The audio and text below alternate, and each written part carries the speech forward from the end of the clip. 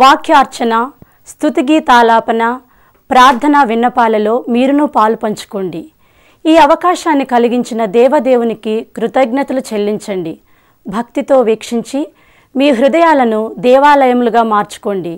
వాక్యామృతం. ఈనాటి దివ్య గ్రంథ పట్టణాలపై రెవరెండ్ ఫాదర్ పి రాయప్ప వాక్యామృతాన్ని అందిస్తారు. పిత పుత్ర పవిత్రాత్మ నామమున ఆమెన్. మీరు వెళ్ళి సకల జాతి జనులకు పిత పుత్ర పవిత్రాత్మ నామమున జ్ఞానస్నాన మొసగుచు. వారిని నా శిష్యులను చేయుడు అని యేస్సు ప్రభువు మరణాన్ని జయించి ఉత్థానమైన పిదప మోక్షారోహణమయ్యే సమయంలో అపోస్తులకు చివరి ఆజ్ఞగా ప్రసాదించాడు. ఆ ఆజ్ఞానుసారం అపోస్తులు ప్రపంచ నలుమూలలు వెళ్ళి సువార్తను ప్రకటించారు. ప్రభుని రాజ్య విస్తరణలో భాగస్థులయ్యారు. సెప్టెంబర్ మాసం ఏడవ తారీఖు నుండి పదిహేడవ తారీఖు మధ్య సమయంలో యేసు ప్రభు పుట్టి పెరిగి సువార్త ప్రచారం చేసి సకల మానవాళి పాప పరిహారార్థమై తనను తాను బలిగా అర్పించుకొని మరణాన్ని జయించి ఉత్తానమై లేచిన పవిత్ర నేలను సందర్శించి వచ్చాం. పది రోజుల పాటు జరిగిన ఈ ప్రయాణంలో నలభై ఐదు మంది పాల్గొన్నాం. మా ఈ ప్రయాణం మాలో విశ్వాస బీజాలను పెంపొందింపచేసింది అని చెప్పవచ్చు. ప్రభు నడిచిన నేలలో నడుస్తూ సువార్త ప్రచారానికి ఆయన ఇచ్చిన ప్రాధాన్యతను గుర్తెరిగాం. అదే విషయాన్ని నేడు మనందరము కూడా జ్ఞప్తికి తెచ్చుకుంటూ ఉన్నాం. శ్రీసభ ఈ రోజున వేద వ్యాపక ఆదివారాన్ని కొనియాడాలి అని మనందరినీ కూడా ఆహ్వానిస్తూ ఉంది. సువార్త ప్రచారం మనందరి ప్రథమ కర్తవ్యంగా భావించాలి. క్రీస్తు ప్రభు ఈ లోకానికి వచ్చింది సకల మానవాళిని ఉద్ధరించే నిమిత్తమే. పాపపు రొంపిలో కొట్టుమిట్టాడుతున్న మానవులను ఉద్ధరించి తండ్రికి ప్రేమైన బిడలుగా చేయాలన్న తలంపుతోనే ఈ లోకానికి అరుదించారు. బహిరంగ జీవనయాత్ర ప్రారంభంలోనే ఆయన గమనించాడు తన ఒక్కడితో ఈ కార్యం నెరవేరలేదని. అందుకే అపోస్తులను పిలిచాడు తనకు అనువైన శిష్యులుగా మలిచాడు. సువార్త ప్రచారానికి కార్యోన్ముఖులను చేశాడు. మార్కు సువార్త మూడవ అధ్యాయము పద్నాలుగవ వాక్యంలో చూసినట్లయితే రెండు ప్రధాన ఉద్దేశాలతో యేసు ప్రభువు అపోస్తులను పిలిచాడు. మొట్టమొదటిది వారు ఆయనతో ఉండుటకు పిలిచాడు. అంటే ఆయనను అంటిపెట్టుకొని జీవించాలి. సువార్త ప్రచారం చేయాలి అంటే తప్పనిసరిగా అపోస్తులు యేసు ప్రభుని అంటిపెట్టుకొని జీవించాల్సిందే. ఆయన జీవితాన్ని అర్థం చేసుకోవాలి ఆకలింపు చేసుకోవాలి. ఆయన జీవితంలో భాగస్వాములు కావాలి భాగస్వాములైన తర్వాత ఆ క్రీస్తు భగవానుని గురించి అధికంగా తెలుసుకోవాలి తెలుసుకున్న ఆ ప్రభుని బోధించాలి. అందుకే వారు ఆయనను అంటిపెట్టుకొని జీవించేందుకు పిలిచాడు అని మనం చూస్తూ ఉన్నాం. యోహాను సువార్త పదహైదవ అధ్యాయం ఐదో వాక్యంలో యేసు ప్రభు అంటూ ఉన్నారు. నేను ద్రాక్షావల్లిని మీరు రెమ్మలు అని. రెమ్మలు ఎంతవరకైతే ద్రాక్షావల్లిని అంటిపెట్టుకుని ఉంటాయో అప్పటి వరకు ఫలితాన్ని ఇస్తాయి. ఎప్పుడైతే ఆ రెమ్మలు ద్రాక్షావల్లి నుంచి వేరైతాయో అవి ఎండిపోతాయని మనం చూస్తూ ఉన్నాం. అదేవిధంగా శిష్యుడు ఎప్పటి వరకు అయితే గురువును అంటిపెట్టుకుని ఉంటాడో అప్పటి వరకు అధిక ఫలితాన్ని ఇస్తూ ఉంటాడు. అందుకే క్రీస్తు ప్రభు అపోస్తులను పిలిచిన మొట్టమొదటి ఉద్దేశం ఆయనను అంటిపెట్టుకుని ఉండుటకు. రెండవ ప్రధాన లక్షణం అపోస్తులను సువార్త ప్రచార నిమిత్తమై పంపుటకు. అదే వాక్యాన్ని ఈనాటి సువిశేషంలో చూస్తూ ఉన్నాం. మీరు వెళ్ళి సకల జాతి జనులకు బోధించండి అంటూ ఉన్నాడు.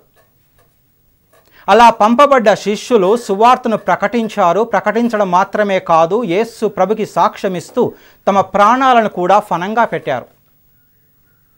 చరిత్ర మనకు తెలియపరుస్తూ ఉంది. ఆయన కొరకు తమ రక్తాన్ని ధారబోశారు అని. ఆయనపై తమకున్న ప్రగాఢమైన విశ్వాసాన్ని తమ మాటల ద్వారా క్రియల ద్వారా నిరూపించారని మనకు చరిత్ర తెలియపరుస్తూ ఉంది. సువార్త ప్రచారానికి పంపబడ్డానికి వారిని పిలిచారు అని చూస్తూ ఉన్నాం. అలనాడు అపోస్తులను మాత్రమే కాదు సువార్త ప్రచారంలో భాగస్థులుగా మారేందుకు డెబ్బై ఇద్దరు మందిని శిష్యులను కూడా పిలిచాడు. దానినే మనం లూకాసు వార్త పదవ అధ్యాయం రెండో వాక్యంలో గమనిస్తూ ఉన్నాం. ఇద్దరిద్దరు చొప్పున వారిని పంపుచు మీరు వెళ్ళి ప్రజలకు బోధించండి అన్నాడు. పంట విస్తారము కాని పనివారుల తక్కువ పనివారుల కొరకు పరలోకతనని ప్రార్థించండి అని వారికి విన్నవిస్తూనే వారిని ఇద్దరిద్దరు చొప్పున పంపించాడు. తను ముందుగా వెళ్ళాల్సిన గ్రామాలలో సువార్త ప్రచారానికి నాంది పలికేందుకు వారిని ప్రేరేపించాడు. అలా వెళ్ళిన శిష్యులు అపోస్తులు క్రీస్తు నామాన బోధించారు. ఆ బోధన మధురానుభూతులను తిరిగి వచ్చి ప్రభుతో పంచుకున్నారు. సువార్త ప్రచారం అలనాడు అపోస్తులు శిష్యుల మీద మోపినట్లే నేడు మనందరిపై కూడా ప్రభు మోపుతూ ఉన్నాడు. అందుకే పంతొమ్మిది వందల ఇరవై ఆరవ సంవత్సరంలో మొట్టమొదటిసారి ప్రపంచమంతా కూడా కథోలిక సంఘం వేద వ్యాపక ఆదివారాన్ని అక్టోబరు మాసంలో జరుపుకోవాలని విశ్వ శ్రీసభ నిర్ణయించింది. ప్రతి సంవత్సరం అక్టోబర్ మాసంలో ఈ వేద వ్యాపక ఆదివారాన్ని జరుపుకుంటూ ఉన్నాం. వేద వ్యాపక ఆదివారం రోజున సువార్త ప్రచారానికి మరి ఎక్కువగా ప్రతి ఒక్కరూ కూడా భాగస్థలం కావాలి అని నిర్ణయించుకొని దానికి అనుగుణంగా ముందుకు సాగుతూ ఉన్నాం.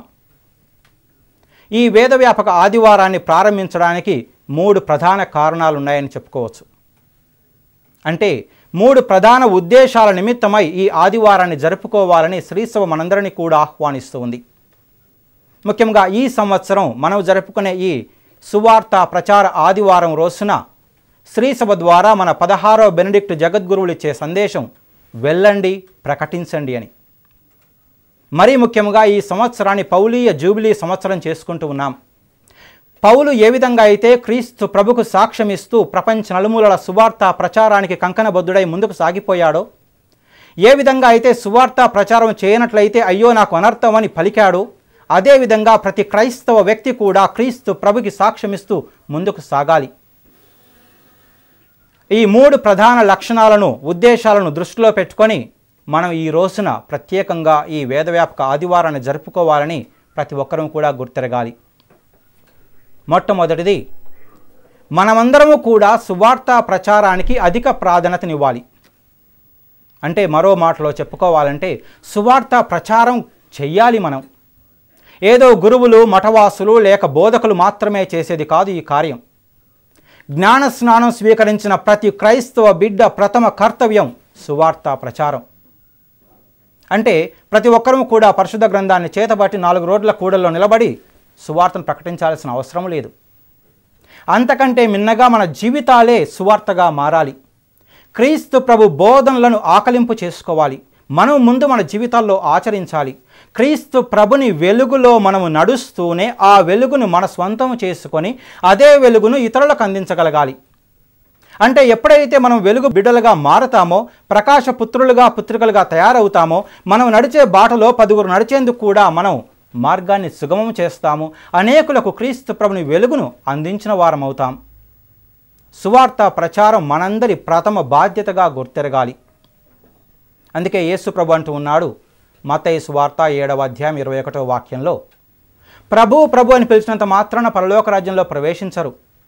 ఎవరైతే నా తండ్రి చిత్తానుసారం జీవిస్తారో ఎవరైతే నా తండ్రి చిత్తానుసారం జీవనయాత్ర కొనసాగిస్తారో అట్టివారు మాత్రమే పరలోక రాజ్యంలో ప్రవేశిస్తారు అని ప్రభు రూఢిగా ఒక్కానిస్తున్నారు. అంటే జ్ఞానస్నానం పొందాను నాకు పరలోక రాజ్యం వస్తూ ఉందన్న అపోహలు పనికిరావు అని దీని అర్థం. జ్ఞానస్నానం పొందిన తరువాత మన జీవన చివరి గడియ వరకు కూడా క్రీస్తుని అంటిపెట్టుకొని జీవించాలి. ఆయన బోధనల ప్రకారం నడుచుకోవాలి. ఆయన ఇచ్చిన సత్య సందేశానికి మన జీవితానికి అనువదించుకొని దానికి అనుగుణంగా ముందుకు సాగాలి. అలా చేసినప్పుడు మన జీవితమే సువార్తగా మారిపోతూ ఉంది. పరిశుద్ధ గ్రంథం మన చేతిలో ఉండాల్సిన అవసరం లేదు. మనమే పవిత్ర గ్రంథంగా మారిపోతాం ప్రజలకు. మనం ఉదయం లేచినప్పటి నుండి రాత్రి పడుకునే వరకు పలు ప్రాంతాల్లో పనిచేస్తూ ఉన్నాం. పదుగురితో మాట్లాడుతూ ఉన్నాం. ఎంతో మందితో మనం సఖ్యతను పెంపొందింపజేసుకుంటూ ఉన్నాం. అలాంటి వ్యక్తులందరికీ కూడా క్రీస్తు ప్రేమను బోధనలను మన జీవితాల ద్వారా మన మాటల ద్వారా మన క్రియల ద్వారా అందించిన వారుగా మారాలి. ఒక్క మాటలో చెప్పాలంటే మన నడవడి క్రీస్తుని నడవడి కావాలి. మన మాటలు క్రీస్తుని మాటలుగా ఇతరులకు అందించబడాలి. ఇది ప్రతి క్రైస్తవుడి ప్రథమ కర్తవ్యంగా గుర్తెరగాలి. మరి ముఖ్యంగా ఈ వేదవ్యాపక ఆదివారం రోజున ఈ సువార్త ప్రచార ఆదివారం రోజున మనందరం గుర్తించుకోవాల్సింది ఈ రోజు నుండి ప్రతిరోజు నేను ఒక్కరికైనా సరే క్రీస్తు ప్రభుని సందేశాన్ని అందించిన వ్యక్తిగా మారతాను అని నిర్ణయం తీసుకున్నట్లయితే వచ్చే సంవత్సరం మనం జరుపుకునే వేదవ్యాపక ఆదివారం సమయం కల్లా రమారమి మూడు వందల అరవై ఐదు మందికి మనం క్రీస్తు ప్రభుని వెలుగును అందించిన వారం అవుతాం. ఇక రెండవ ప్రధాన ఉద్దేశం ఈ వేదవ్యాపక ఆదివారం జరుపుకునేందుకు శ్రీసోమనని కోరేది సువార్త ప్రచారానికి మనవంతు సహకారం అందించాలి. అంటే ఆర్థికంగా మనకు తోచిన విధంగా సహకారం అందించాలి. మనం ఈరోజు ఇచ్చే విరాళాలు ఒక్క రూపాయి కావచ్చు పది రూపాయలు కావచ్చు వంద రూపాయలు కావచ్చు పదివేలు కావచ్చు. ఎంత ఇస్తున్నామన్నది కాదు ముఖ్యం. ఎలాంటి ఉద్దేశముతో ఇస్తున్నాము? ఎలాంటి ఉద్దేశముతో ప్రజలకు ఈ విషయాన్ని అందిస్తున్నామని గుర్తించుకోవాలి.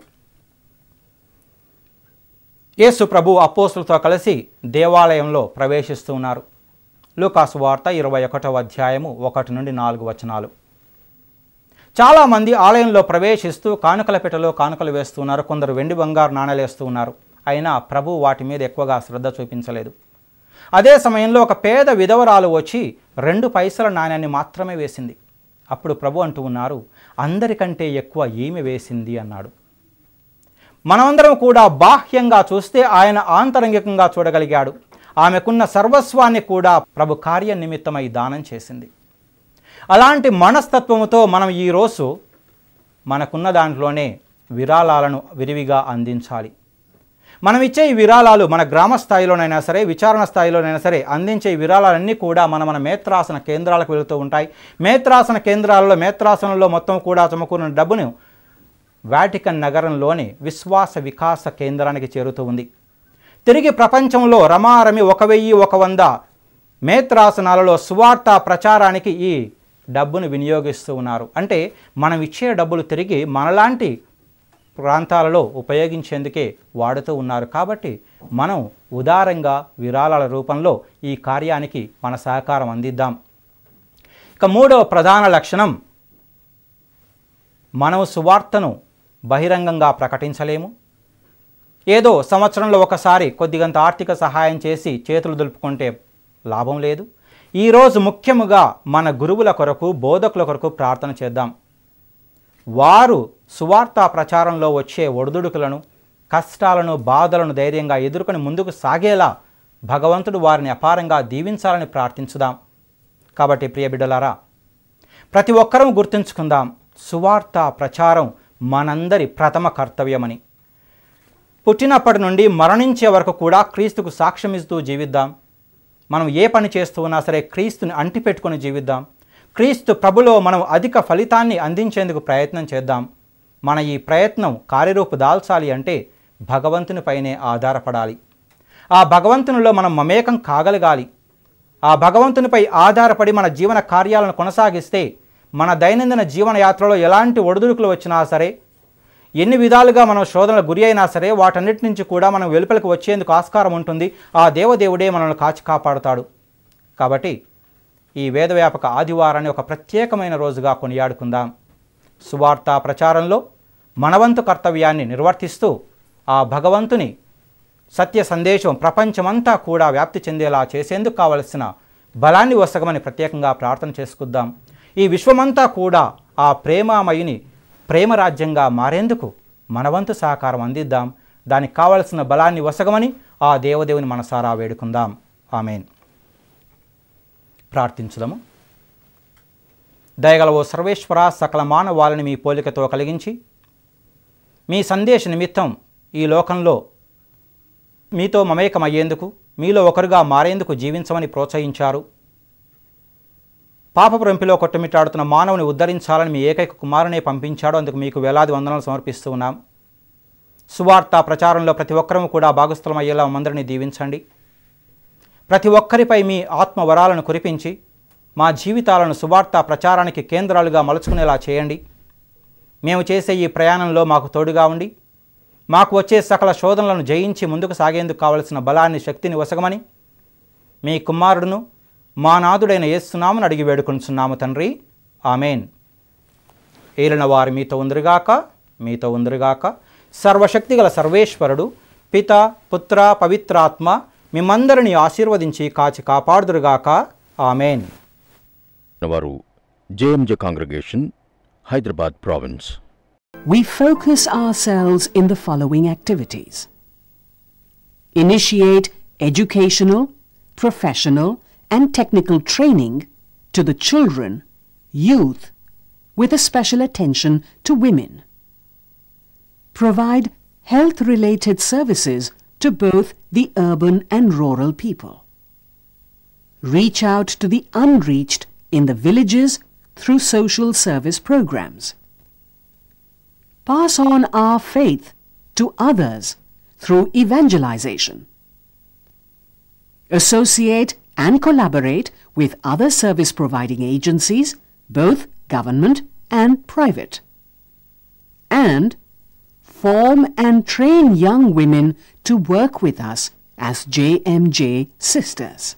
We also have integrated schools, which are based on the principle that the physically challenged are not disabled, but are differently abled. They too participate and contribute to society. Our hostels are not just places for study and stay, but provide our students an opportunity to develop a sense of independent and community living. Following the footsteps of our pioneer sisters, we the JMJs go to where the people are. Saving is good. Saving helps you. So keep on saving. All we did was teach them a song. And today the melody still echoes in every street corner and home of the village.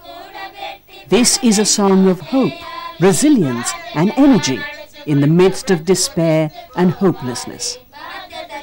Social apostolate is the need of the hour. Amrutavani, Amrutavani, O Premavani.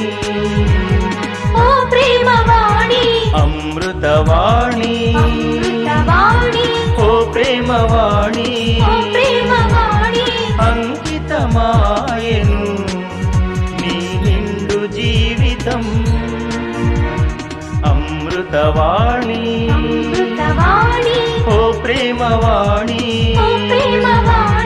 అంకితమాయను నీ నిండు జీవితం.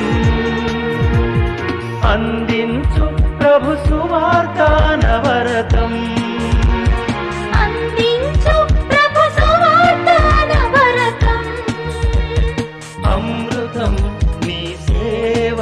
అజరామరం అమృతం నీ సేవ అజరామరం అమృతవాణి. అమృతవాణి. అంకితమాయను. నీ నిండు జీవితం. అమృతవాణి.